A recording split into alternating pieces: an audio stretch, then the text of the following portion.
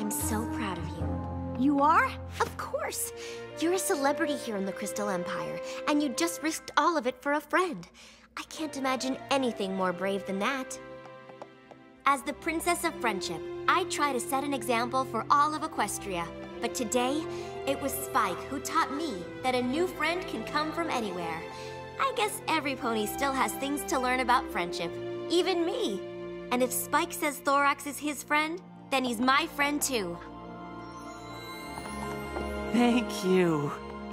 On behalf of the Crystal Empire, I would like to extend my hoof in friendship, and I'm sure all of my subjects are eager to do the same.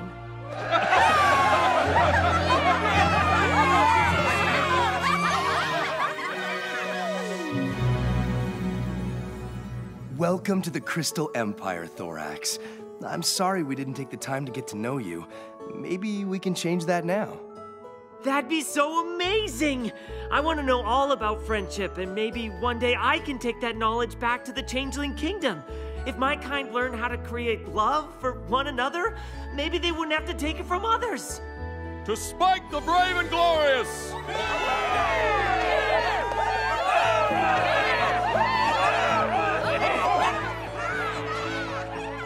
Looks like you were right after all. Right about what? Friendship lessons can happen anywhere.